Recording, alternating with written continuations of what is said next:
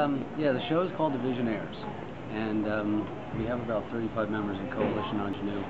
Um, we chose for this one the ones that we consider to be visionaries, the ones that um, whose artwork comes from dreams or visions, or um, a lot of them have kind of like paranoid delusions or whatever. But it, it, you know, it's um, it's the kind of thing that becomes real and and, and becomes like a, a really a compulsive need to, to express themselves, and that's what uh, motivates the artwork.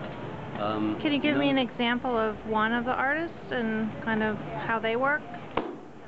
Well, um, one that I just met recently is Ed, Ed, Ed Weltamate, uh, Weltamate, I'm sorry, I pronounced his name wrong.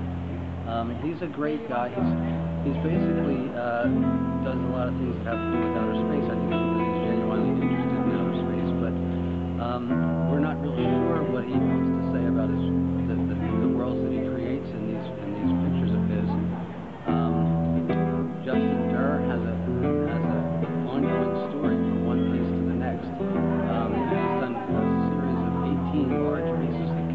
together